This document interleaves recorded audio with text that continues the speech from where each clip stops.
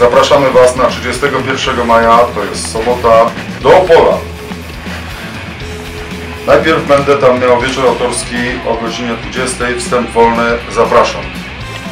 A później około godziny 22, może później będziemy grać koncert. Jako, że gramy sami, zagramy dwa poważne sety. Najpierw pójdą stare numery, a później zagramy pełny set zupełnie nowych numerów, które się znajdą na płycie. Będziecie mieli okazję posłuchać premierowo paru zupełnie nowych numerów. Zapraszamy.